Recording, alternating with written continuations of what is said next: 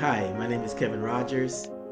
I started my career in New York mostly doing uh, musicals. I was doing a lot of film and television. Yeah, you know, New York is what it is. You know, it's big apple, as they call it. You can do everything in New York. I came to Europe because I always wanted to do a tour of a show and see what Europe was like. So I seen this audition for the musical Hair. So that's what brought me to Europe. And I thought I was going to be gone for six months. It was just a six month contract.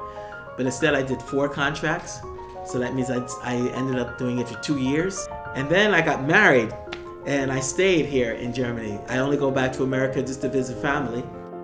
In Germany, I started doing a lot of shows with gospel groups, and then also I started getting involved into the pop scene here um, with a group called K2. We had a gold record called Der Berg ruft. That was a lot of fun. The teenies really loved this song. This girl named Sandrina Sedona, who I met in a studio as we were recording a gospel album for Joan Orleans, said to me, you know, we need a second Otello, and we're opening in one month. I said, one month, Otello, really? Okay. And I hardly knew any German at the time. And so I said, okay, this is a real challenge.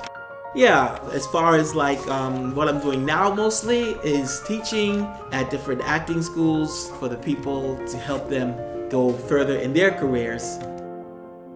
So from Carnegie Hall in New York to the pop scene in Germany, it's a pretty different uh, diverse field there but that's pretty much how my life has been. It's been pretty diversified in a sense that i'm open to a lot of different things. I love all genders of, of music and i let my talents take me to wherever it may take me.